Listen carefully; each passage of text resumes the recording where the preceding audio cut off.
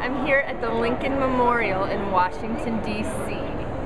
You can see Lincoln behind me. He is probably the most well-known American president as well as one of the most beloved because of his involvement in the Civil War. And his most famous speech was the Gettysburg Address. So you can see it written on the wall in front of me and I'm going to read it out loud and you can read along with me and uh, as I pronounce the words for you. So here it is, the Gettysburg Address by Abraham Lincoln.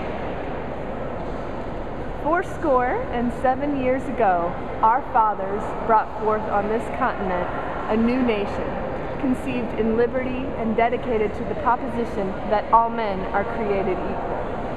Now we are engaged in a great civil war, testing whether that nation or any nation so conceived and so dedicated can long endure. We are met on a great battlefield of that war.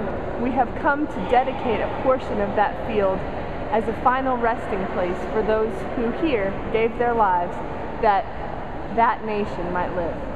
It is altogether fitting and proper that we should do this, but in a larger sense, we cannot dedicate, we cannot consecrate, we cannot hallow this ground. The brave men living and dead who struggled here have consecrated it far above our poor power to add or detract. The world will little, little note nor long remember what we say here, but it can never forget what they did here. It is for us, the living, rather, rather to be dedicated here to the unfinished work which they who fought here have thus far so nobly advanced.